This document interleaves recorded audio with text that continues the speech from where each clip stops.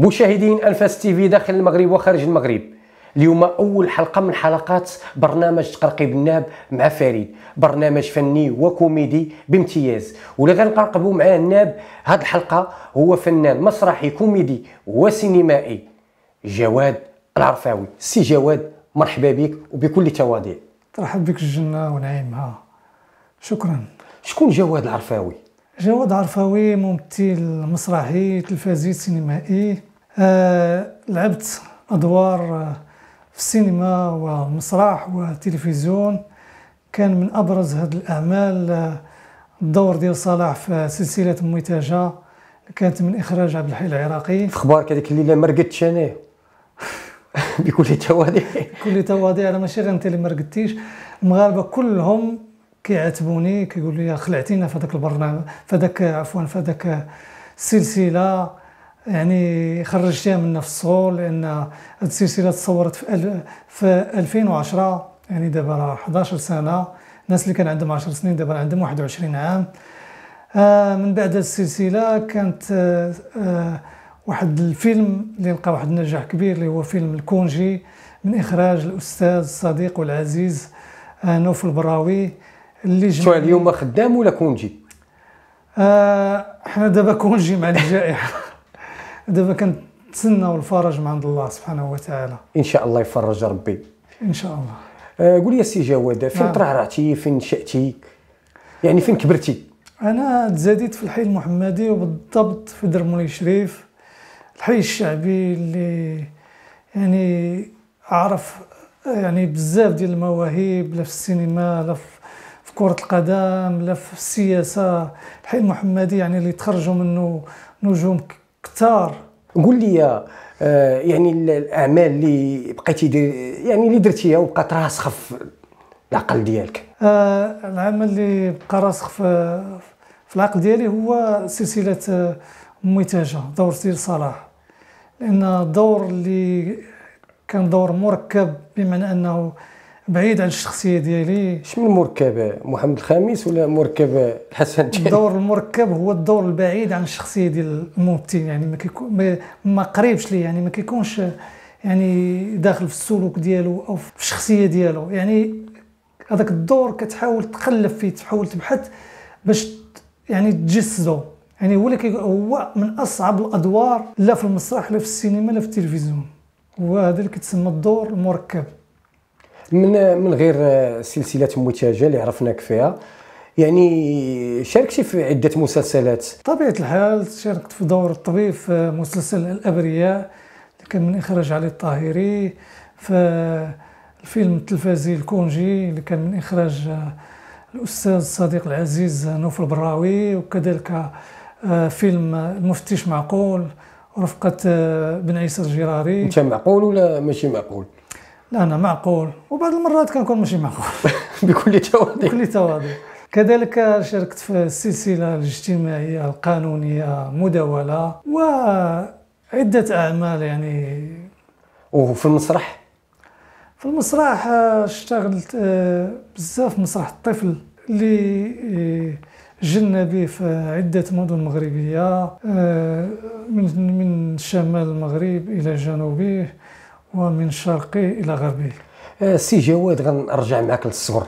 واش عاقل على أول نهار دخلتي فيه المدرسة بطبيعة الحال كنعقل على أول مرة كندخل المدرسة يعني يعني كن كيكون بنادم فرحان لأن أول مرة يكتشف شنو هي المدرسة وشنو هو الفصل الدراسي و يعني ما ما عمرو تنسى لي لأن كان مشيت معاه. داتني الوالدة الله يرحمها ويغفر لها في هذا النهار. أنا قالوا لي هربتي يلا غيدخلوك مع باب المدرسة وانت لا بالعكس بالعكس. دخلت ال- دخلت الم- حتى داك هذاك الوقت كنا كنخافوا ماشي بحال هاد الجيل. دخلنا المدرسة وكنا كنحترموا المعلمين ديالها ديالنا وكنا يعني وفي الصغر ديالي أنا شوية كنت كنت شوية كنخاف ما واخا كنت شوية في داك الشيطان ولكن راه في وقت ملي كيخرج فيا شي واحد عيني راه كنت كنحشم منه. آه. وآخر مرة الدار شراو لك الحوايج العيد؟ شحال كان عندك من عام؟ اخر عيد ربما ملي كنت كنقرا. حيت أنا غير خرجت من القرايه ما بقاوش كيشريو لي الوالدين ديالي الحوايج. والو. صافي خرج قال لي صافي دابا انت ما بقيتيش كتقرا. ما بقيتيش. فاش غتلبس هاد الحوايج؟ شكون غيشوفك؟ قول لي. نعم. شكون اللي كتعجبك الماكلة ديال الوالدة ولا ديال المدام؟ وأنا دابا céliba célibataire تبارك الله. وكتعجبني الأكلة ديال الأم ديالي الله يرحمها. يعني لحد الآن دابا واخا ناكل أي أكل ما كيجينيش بنين بحال ديال الأم ديالي. ولكن آه، تخيل بأنك تزوجتي وطلعناك فوق العمارية وهذه يعني وشكون اللي غتعجبك الماكلة دابا؟ خلي دابا قلتي ما مجوجش انت ولكن تخيل معنا غتبقى تعجبني الماكلة ديال الأم ديالي لأن من الصغر ديالي وأنا كناكل كناكلها وكانت كتعجبني واخا نمشي نضيف عند شي واحد ما كتجينيش بنينة بحال الاكله اللي كطيب لي الأم ديالي الله يرحمها. وتقدر تقولها قدام المرأة اللي غتزوج بها مستقبلا. لا نقدر نقولها بصراحة. أنا ما أنا عندي شراح من اللحم بكل تواضع بكل تواضع تحية لسي جواد. آه، قول لي السي جواد. نعم. قالوا لي كنتي كدير الزبايل في صغرك أخويا. قول لي واحد النهار تخاصمتي مع شي جيران وسديتي عليهم الباب. الخبر منين جبتيه واه خويا خدمتي هذيك. واش أنت صحفي ولا مخبر ولا مخبر في المافيا؟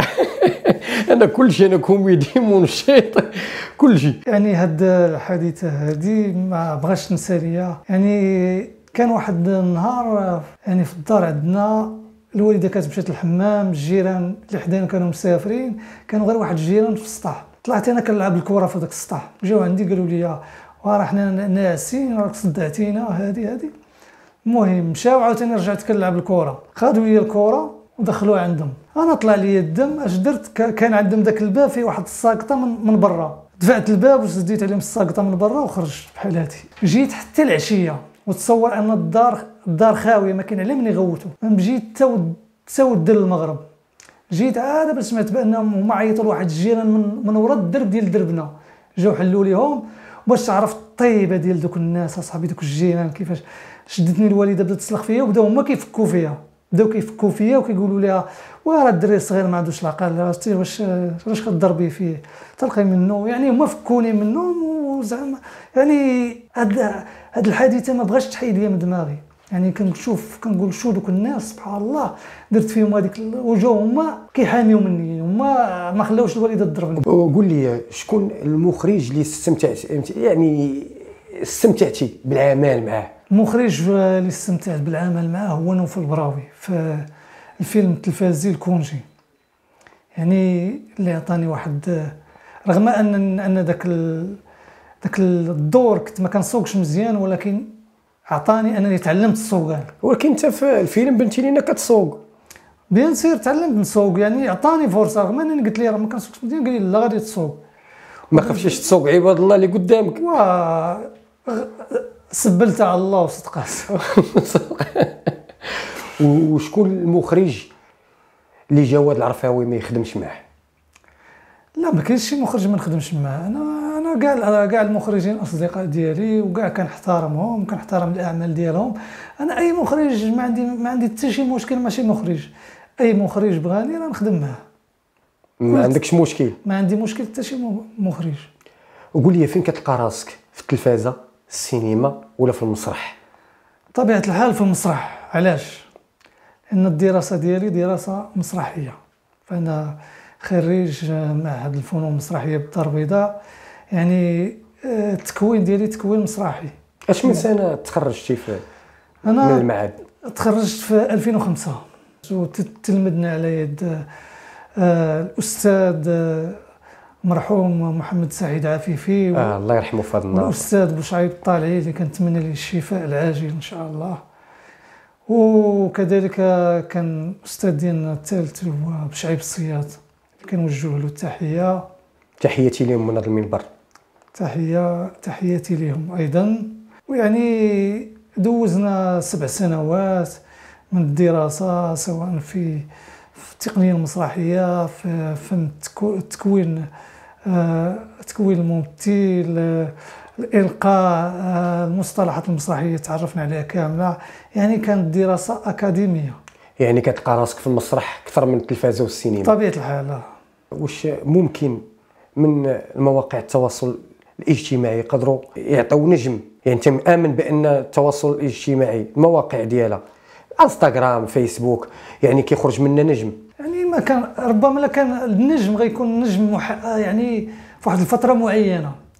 حيت دابا ولينا كنسمعوا هذا نجم ديال الانستغرام هذا نجم ديال اليوتيوب هذا نجم ديال الفيسبوك هذا نجم ديال التيك توك. أنا أنا غادي نوصف لك هذوك النجوم بحال اش هذوك النجوم بحال دوك الفقاعات ديال اللي كنا كنديروهم حنايا بحال دوك الفقاعات كدير التيد وكدير واحد ال tuyau كت- كتنفخهم ديال الرغوة. ديال الرغوة. كي كيبقاو يعلاو على شوية كي كينقاطروا بحال هكاك يعني كيكون نجم ديال واحد الفترة معينة. مثلا حنا غنعطيك غير par exemple مثلا حنا دوك النجوم القدام مثلا. سواء في الغناء بحال أم كلثوم عبد الحليم حافظ بحال ال- النجوم ال- في التمثيل بحال رشدي أباضة بحال نور الشريف بحال فريد شوقي. راه باقي الآن باقي الآن الناس كيتذكروهم. وباقي الاسطوانات ديال أم كلثوم الآن كيتباعوا. باقي ديك ديك الشركة اللي كتصنع هذوك الاسطوانات باقي الآن خدامة. وعلاش دابا جبتي ممثلين مصريين يعني عطيتي بهم مثال وما عطيتيش بممثلين المغاربة اللي عندنا حتى حنا عندنا اهرام ديال الفن. غنجاوبك علاش؟ آه. حيت السينما المصرية سابقانا. يعني حنا ملي كنا صغار كنا كنتفرجوا في. في, في السينما المصرية. يعني السينما المصرية راه سبقات المغربية. راه راه كانت في العشرينات في الثلاثينات ملي كان التلفازه بالأبيض والأسود. حنا بالنسبة لل- للدراما المغربية راه ما بدات حتى السبعينات والثمانينات وكانت ربما كانوا مسلسلات كنا كنشوفوا فيهم أربعة الحلقات خمسة الحلقات ما كانوش كيتجاوزوا 30 حلقة. ف علاش عطيتك أنا آه مثال بممثلين مصريين؟ حيت حيت السينما المصرية سابقة للسينما المغربية. وغنعطيك واحد السؤال شوية مثير. السي جواد العرفاوي لو ولا وزير الثقافة. تخيل معايا وليتي وزير الثقافة. الله آه. شنو هما ثلاثة الحوايج غتحطهم استعجالية؟ يعني حوايج فعال الفنانين للفنان ثلاثة الحوايج. آه. الحاجة الأولى غادي نفعل الحماية الاجتماعية للفنان. من تغطية صحية من أنا غندير لهم الضمان الاجتماعي ندير لهم التأمين ديالهم لأن هاد الحوايج هو بيني وبينك راه ضامن الله. ضامن الله ولكن هذاك الضمان الاجتماعي غادي غادي يضمن لهم تقاعد مريح لأن دابا كنشوفوا الفنانة كيخرجوا مثلا كي- كيوصل لواحد السن معينة مثلا الستينات أو السبعينات ما كيبقاش قادر انه يشتغل يعني ما كيبقاش عنده واحد المورد رزق. يعني خصو خصو تقاعد ديالو. كما في في عدة مجالات. راه في, في الوظيفة في أي حاجة الانسان ملي كيوصل لواحد السن كي كيجلس كيولي ياخذ تقاعد. على الفنان علاش علاش ما نديروش ليه تقاعد؟ ثاني حاجة بالنسبة للدعم. الدعم غن- غنقلب على موارد مالية. وغادي غادي غادي نحاول أننا في, في, في البرلمان أن أن أن خص وزارة الثقافة تعطاها من من الميزانية واحد الدعم أكثر من هذا الدعم اللي كيتعطى. بالنسبة للقانون المالية فاش كيكونوا وزعوا دوك الميزانية تاع الوزراء خص ما تبقاش وزارة الثقافة محقوره يعني تعطى واحد الميزانية كبيرة باش نقدر أنني ندعم كاع الفرق المسرحية. ماشي بحال دابا مثلا كيدعموا غير فرق وفرق كي كاع الفرق كاع الفرق المسرحية اللي كنعرفها محترفة كلها تاخذ دعم. واخا نعرف نقسم داك الشيء عليهم مثلا أنا غنعطيه 20 مليون نعطيه 10 والاخر نعطيه 10 ونقول لي أنا ما في العود غدير 10 العروض دير لي غير أربعة العروض.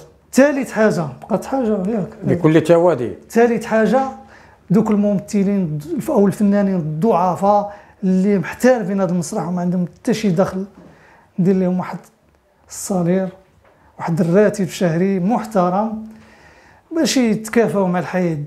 لأن الفن راه ما كي الفن راه ما كيعيش. راه كنشوف من راسي أنا.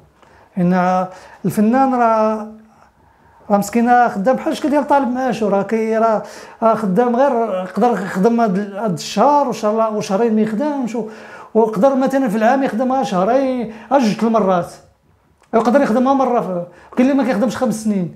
يعني غنضطر أنا ندير لهم واحد واحد الراتب شهري باش يخدموا على راحتهم باش يلقاو غير ما- ما ياكلوا وما يلبسوا. هاد الفنان راه باش يعيشوا بكرامة. باش يعيش بكرامة سيرتو الفنان الفنان راه ما خصوش يبان يبان الجمهور يعني مبهدل ويبان لهم واحد الحالة يرتلى. الفنان راه قيمة الفنان راه هو مرآة الشعب راه هو مرآة المجتمع كما قررنا.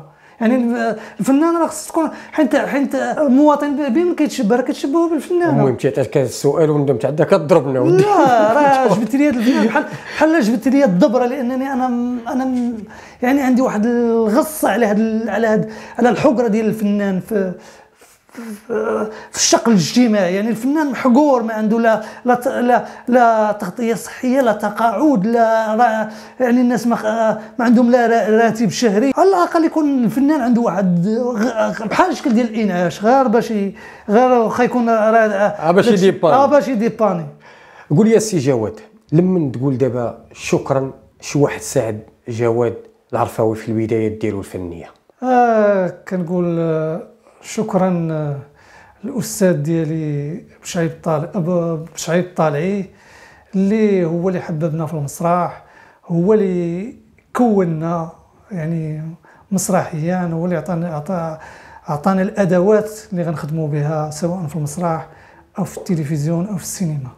غنمشيو لاخر سؤال ويعني فتحتي لنا قلبك ويعني ما ما سخيناش بك. قرقبتي معنا الناب في في هذا البرنامج يعني ال- ال- ال- الشيق ودازت معك هذه الحلقة الشيقة مع سي جواد العرفاوي. آخر كلمة للانفاس تيفي آه كنشكركم على الاستضافة وكنتمنى النجاح لهذا البرنامج اللي هو تقرقيب الناب وبالفعل تقر- قرقبنا الناب شوية بكل تواضع. شكرا ونورتينا سي جواد.